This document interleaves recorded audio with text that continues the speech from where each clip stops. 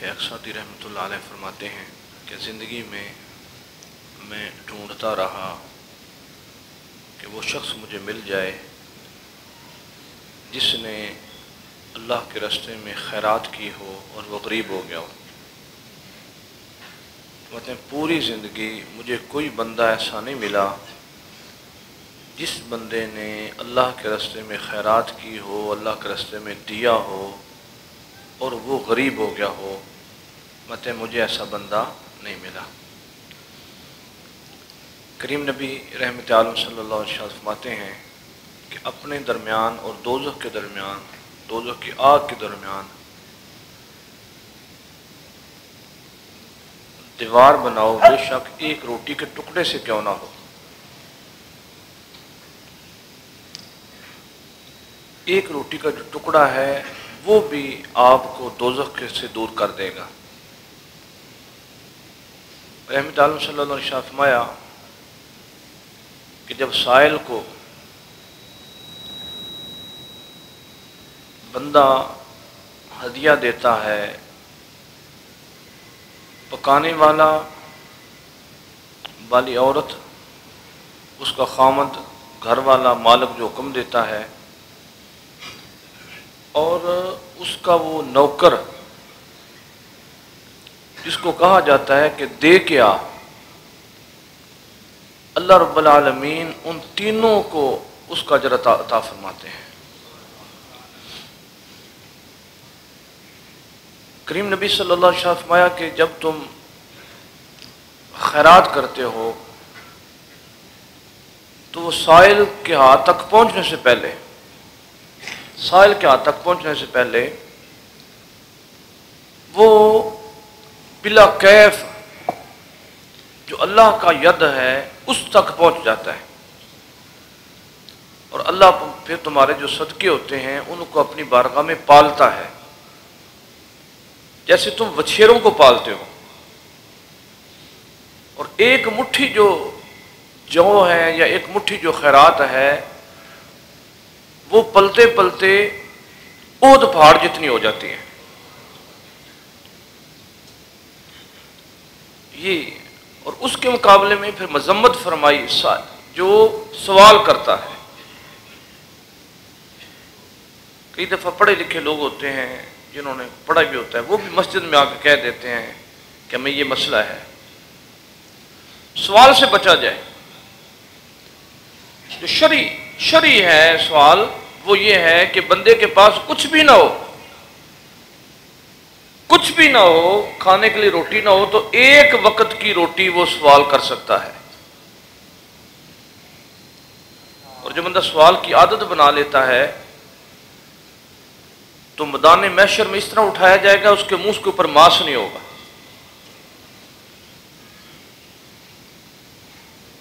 ये जो सवाल करना होता है और जो बंदा अपनी जो उसको मसला हो, वो छुपा ले।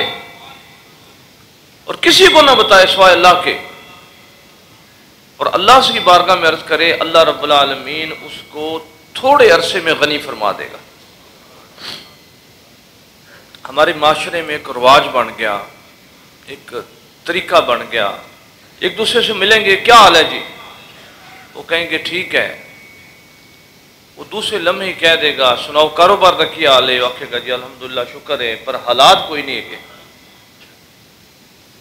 कोई हाल नहीं है।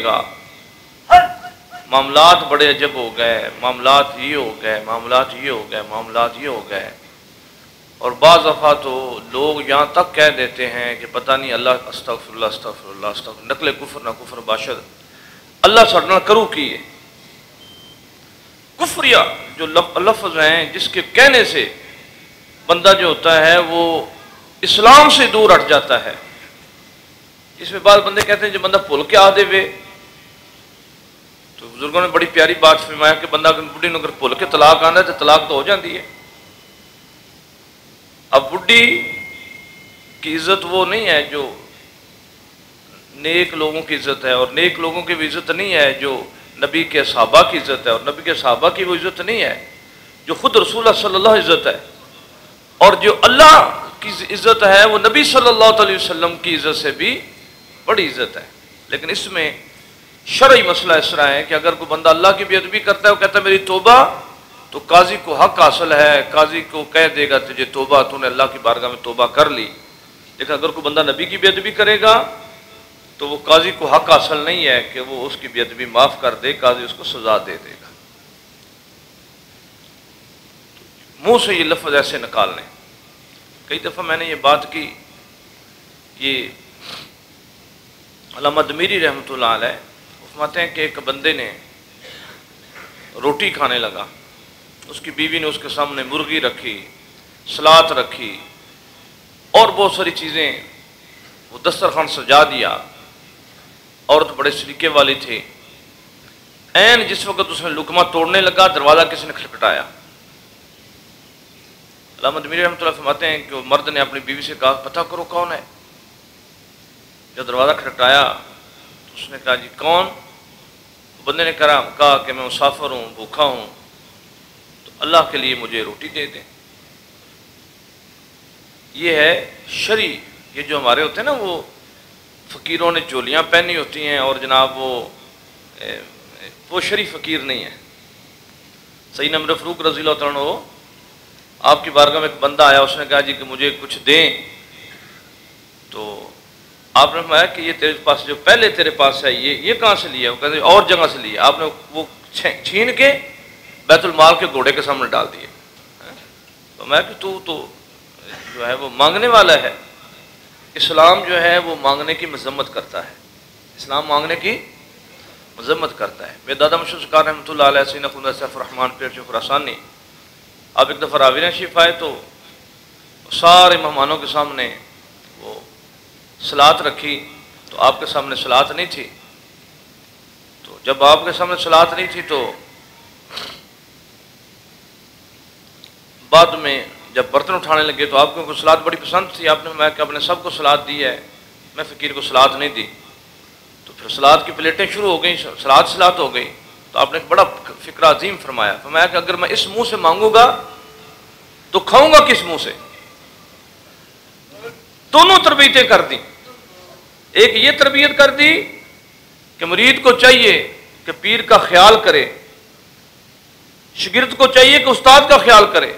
बेटे को चाहिए, बाप का ख्याल करे। और दूसरी तरबियत ये कर दी कि सवाल जो है वो हराम है। अगर इस मुँह से मांगूँगा, कहूँगा तो खाऊँगा किस मुँह से? नहीं खाई। ये हमारे यहाँ आज रिवाज बन गए। लोग बातों बातों में कह देते हैं अच्छा फलां काम फलां काम फलां काम। और बाने बाने से कह देते हैं कि, जनाब, तेरी फलानी शाह जड़ी ना, वाह जी वाकई बात है। फिर वाह जी वाकई बात है। वाह जी वाकई बात है। अमाम हमदजा खान फादर इब्राहिम के पास एक बंदा आया तो उसने क्या मुझे पैसे दो, नहीं तो मैं तेरा मकान उल्ट दूँगा। अब मैं कि वैसे तो फकीरी से मांग तो ठीक है, तमकी से ना मांग। तमकी से मैं तुझे कुछ नहीं दूँगा। उसने कहा, जी, कि मैं मकान उल्ट दूँगा। आपने फरमाया कि मैं तमकी, ये जो तुम कह रहे हो, मैं इससे डरने वाला नहीं, वैसे तुम कहो मेरी खिदमत कर दो, मैं कर देता हूँ। आपने अपनी जूती उल्टी कर दे। फरमाया तो मेरी जूती सीधी कर दे तो मैं तुझे दिया दे दूँगा। हा? नहीं जूती सीधी कर सका। ये जो तमकियाँ होती ना, बड़ी अजब मामला। तमकी, जनाब, फलानी तमकी फलानी तमकी फलानी तमकी। दूसरी तरफ़ ये है कि जब कोई बंदा किसी अल्लाह के वली की बेदबी करता है तो फिर बड़ी धमकी अल्लाह फरमाता है, मैं उससे अल्लाह ने जंग करता हूँ। ये दोनों चीज़ों को रखें। अल्लाह फरमाते उसके अल्लाह ख्वाब में क्या करता हूँ? अल्लाह ने जंग करता हूँ और अल्लाह अल्लाह ने जंग में क्या करता है? अल्लाह लड़ाई में क्या करता है? अल्लाह पाक उससे ईमान ले लेता है। अल्लाह किसी की टांग नहीं तोड़ता। किसी के अल्लाह पाक उसके फिर ईमान वाला मसला वो गड़बड़ हो जाता है। तो अलामत मीरी रहमत बात लंबी हो गई। अलामत मीरी रहमत फरमाते हैं कि वो मर्द ने कहा मुझे भूख लगी है। तो वो आके अपने मियाँ से कहा कि मुसाफर है बेचारा, भूखा है। कहता है कि मुझे अल्लाह के लिए एक रोटी दे दें। उसने कहा कि उसको कहो, चला जाए यहाँ से, हमारे घर में अल्लाह के लिए कुछ नहीं है। बीबी ने जाके बंदे को कह दिया तो बंदा चला गया। ये जो, ये बंदा था, इसके हालात ख़राब होना शुरू हो गए। हालात ख़राब होते होते होते होते होते, नौबत यहाँ तक पहुँच गई कि अपने घर के बाले बेच दिए छतीरियाँ बेच दी, ईंटें बेच दी, बेचते रहे बेचते रहे बंदा ख़रीदता रहा। आखिर बीवी को तलाक दे दी।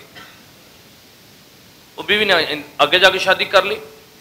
जब वहाँ शादी कर ली तो वो वहाँ पे भी जो एक बंदा था वो जिससे शादी की, वो भी उसी तरह, उसको भी खाना उसी तरह दिया।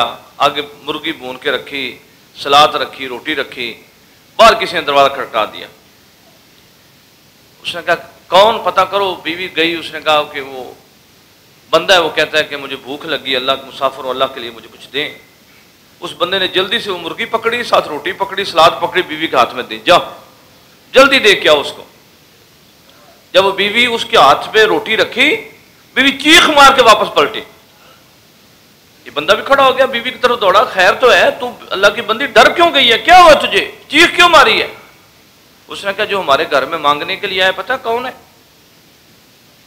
नहीं। उसने कहा, वो वो फलां सेठ है जिसकी पहले बीवी हुआ करते थे। वो आज हमारे दर पे मांगने के लिए आ गया।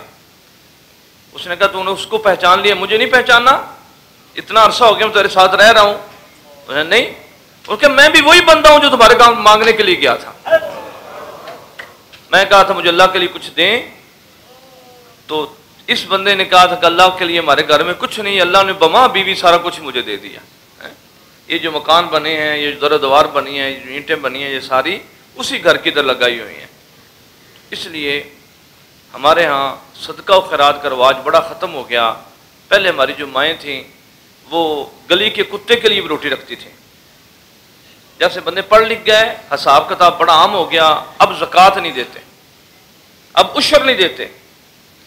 अब पहले जो गाँव होते थे ना, गाँव, इतने गाँव इधर हम जाते थे, अपने वाल साहब रहमत के साथ बचपन में किसी मुरीद ने दावत करनी, उस वक्त जाना या किसी ने बीमार हो जाना तो ये वैसे वाल साहब के साथ चले जाना, या कुछ शादियों में चले जाना तो एक गाँव होता था वहाँ पे बड़ा, बड़ी आबादी होती थी।